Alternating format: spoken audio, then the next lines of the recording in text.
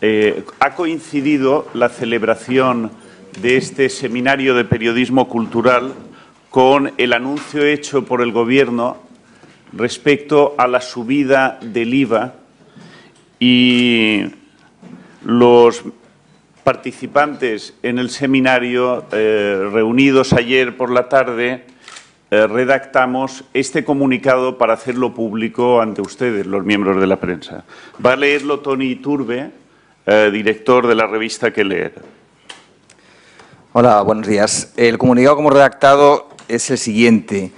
Los periodistas culturales reunidos en el seminario de periodismo cultural celebrado en la Universidad Internacional Menéndez Pelayo manifestamos nuestro rechazo hacia la decisión del Gobierno de grabar la asistencia a teatros, conciertos de música y salas de cine con el 21% de IVA.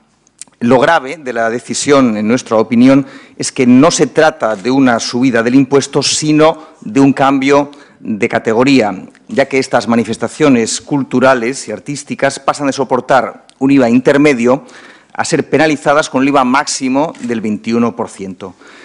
Queremos dejar constancia de que la cultura no es un privilegio, sino que forma parte indispensable del desarrollo afectivo, personal e intelectual de las personas. Por lo tanto, nos negamos a aceptar que se nos diga que pensar es un lujo.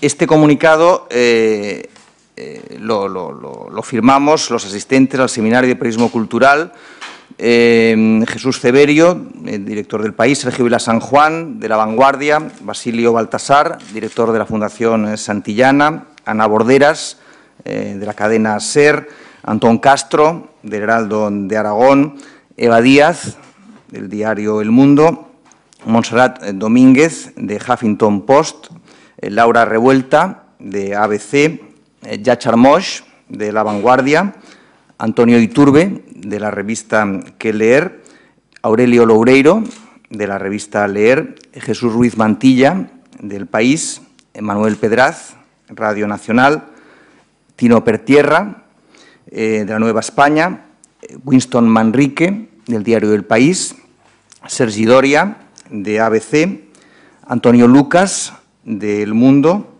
y Carmen Carballo, y la filóloga Carmen también eh, Ramírez. Eh, gracias y hasta aquí el comunicado.